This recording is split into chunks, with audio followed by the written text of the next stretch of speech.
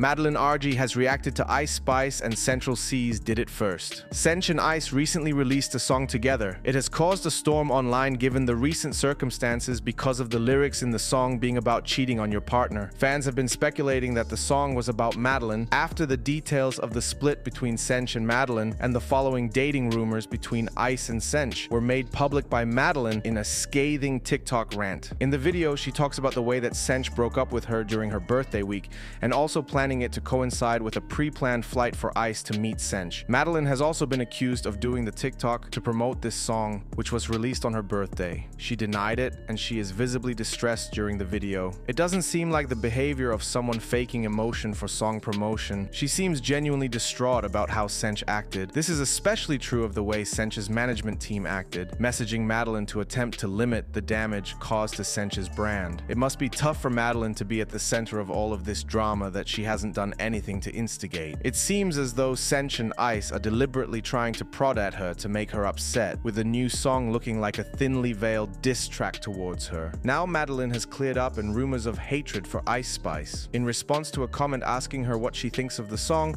Madeline responded by saying, Of course I like the song. I may not like some of the lyrics, but I do like the song. You knew this already. Madeline has handled the situation very maturely. She is showing that she can still support someone she has known and loved for many years, whilst also not liking what the song is about. She is taking the high road here, and it looks better for her. As if she had said she hated it, then fans would have gotten the reaction they were looking for. One fan said, Good for Madeline, don't give them the satisfaction of getting a rise out of you. You deserve so much better. Another fan said, Madeline is making it about herself. Do you know how long ago these songs get recorded? Do people think this happened last week or something? For this video's comment question, how would you handle the situation if you were Madeline? Before you go, be sure to give this video a thumbs up up and subscribe for daily news updates on your favorite celebs. Thanks a lot for watching.